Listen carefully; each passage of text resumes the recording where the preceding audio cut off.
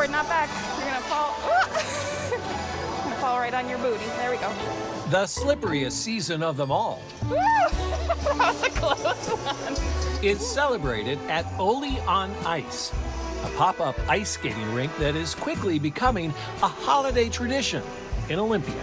This is one of my favorite places to come this time of year because of all the smiling faces and happy people. And of course, you know, people have masks on uh, this year, but you can still sense happiness uh, when you're seeing folks out on the ice. Happiness. Oh yeah, we're moving. And maybe a little trepidation. We're moving now, babe.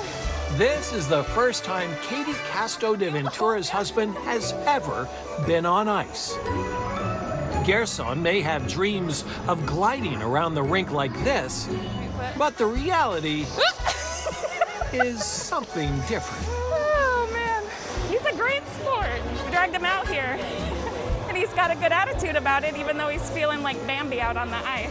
Yeah? Gerson isn't the only one with that slippery feeling.